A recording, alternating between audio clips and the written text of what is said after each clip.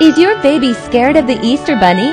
Take baby to a farm or petting zoo and meet real bunnies. You'll make some precious family memories instead of standing in line for one traumatizing photo op.